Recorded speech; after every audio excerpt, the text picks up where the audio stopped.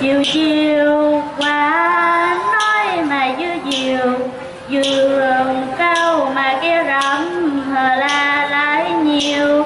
Con gà con gà con, bơ rác mà bơ rơm. Con ăn mà chiều chiều hờ la đói cơm. Ở ngày tàu ngày ở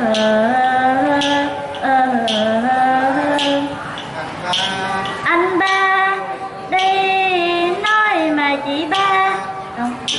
Dù trầu dù dù dù trầu dù rượu là là hết ba đồng mưa đồng. Đồng nào mua chả mà mua nem, mua một mà cặp đèn cho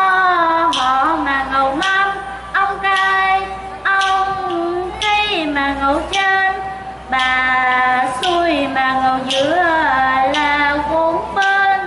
Ngầu hò ngầu ông tay ông cây mà ngầu trên bà xuôi mà ngầu giữa là bốn bên. Ngầu hò ngầu ờ, ờ, ờ. ờ. Quý thầy cô cùng toàn thể các bạn giáo viên, hôm nay được sự cho phép của ban giám hiệu nhà trường, câu lạc bộ hát ru trường trung học cơ sở Tân Quang tổ chức.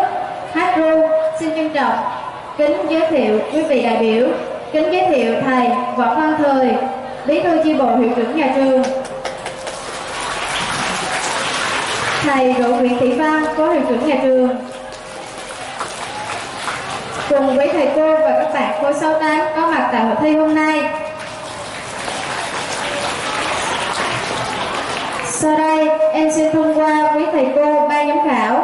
Kính giới thiệu thầy Võ Văn Thời, hiệu trưởng nhà trường làm trưởng ban, thầy Đỗ Nguyễn Thị Văn, phó hiệu trưởng nhà trường là phó ban.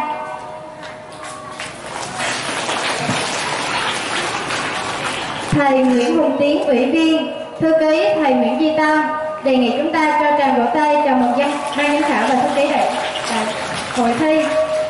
Kính thưa quý vị, mở đầu chương trình hội thi hát ru Bình Định hôm nay à, của câu lạc bộ hát ru trường trung học cơ sở tâm Quang là bạn Thanh Thúy với làn điệu ru sóc qua ba đoạn hát. Mời quý thầy cô và các bạn thưởng thức. Hiểu thầy cô lắng nghe song ca của bạn Tố Quyên và Phượng Hoàng với làn điệu ru đưa ba đoạn.